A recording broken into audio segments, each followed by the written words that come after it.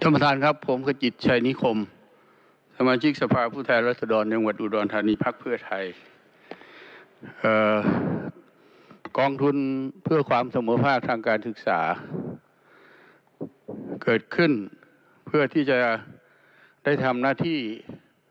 ลดความเหลื่อมล้ำแล้วก็ดูแลในส่วนที่กระทรวงหรือหน่วยงานที่มีหน้าที่จัดการศึกษา ไม่สามารถดูแลในรายละเอียด เรื่องความเหลื่อมล้ำทางการจัดการศึกษาได้ท่านประธานครับ ถึงแม้ว่ารัฐธรรมนูญหลายฉบับแม้จะเปลี่ยนแปลงยังไงก็ตาม แต่ก็ต้องมีเนื้อหาบังคับรัฐบาล คือเดิมเนี่ยก่อนนี้เราบังคับประชาชน แต่ตั้งแต่ปี 2540 มาเนี่ยรัฐธรรมนูญทุกฉบับ จะเขียนบังคับรัฐะให้จัดการศึกษา รัฐธรรมนูญฉบับนี้ก็เหมือนกัน เขียนไว้ในมาตรา54เขียนไว้หกวรรคและสุดท้ายเนี่ยวรรคสุดท้ายเนี่ยท่านเขาก็ให้จัดตั้งกองทุนเพื่อใช้ในการช่วยเหลือผู้ขาดแคลนทุนทรัพย์ แล้วก็เพื่อลดความเหลื่อมล้ำในการศึกษา แล้วเพื่อเสริมสร้างและพัฒนาคุณภาพและประสิทธิภาพของครู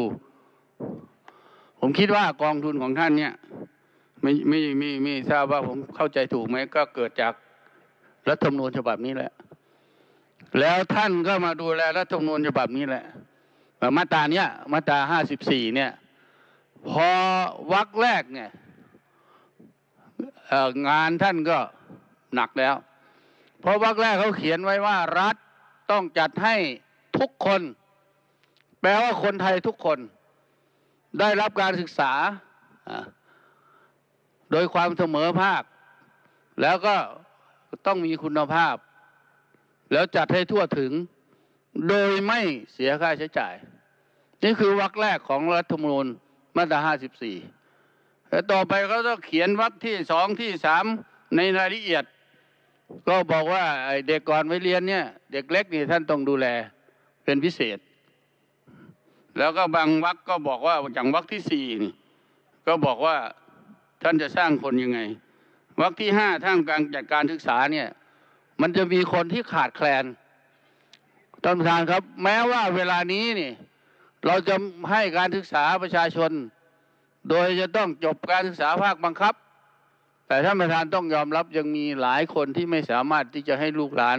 อยู่ในการศึกษาภาคบังคับได้ในสถานการณ์บางสถานการณ์ถึงความทุกข์ยากความขาดแคลนความไม่สะดวก ผมอยากจะฝาก กองทุน หรือเป็นที่ท่านตอบคำถามผมก็ได้ ว่าเวลานี้เนี่ย รัฐบาลเนี่ย มีนโยบายอันหนึ่งซึ่งไม่ยอมเลิกทีเนี่ยคือจะยุบโรงเรียนขนาดเล็ก โดยรัฐธรรมนูญฉบับนี้เนี่ยเดิมเราตีความเราเขียนเนี่ย ผมเป็นคนเขียนตั้งแต่รัฐมนตรีปี 40 เนี่ย เขียนบังคับให้รัฐบาลต้องจัดการศึกษานี่เขาก็เขียนเหมือนกัน บังคับให้รัฐบาลจัดให้คนไทยทุกคน คนไทยทุกคนหมายความว่าไง เขาจะไปอยู่ในไซต์งานก่อสร้าง เขาไม่สามารถจะเข้าโรงเรียนใดได้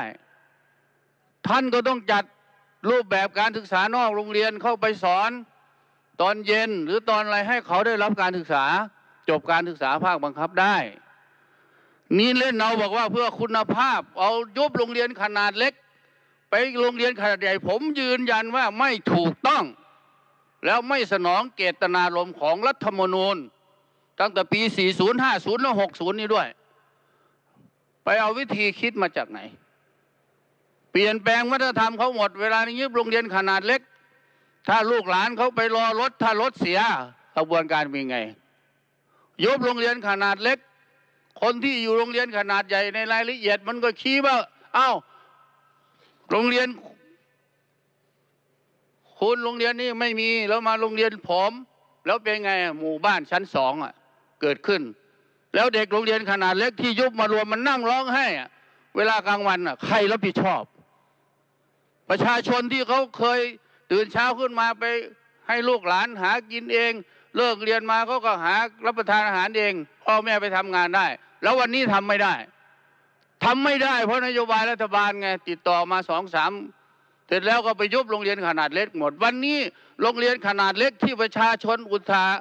สร้างประวัติศาสตร์ของเขาสร้างโรงเรียนกว่าจะเป็นโรงเรียนกว่าจะงบรัฐบาลได้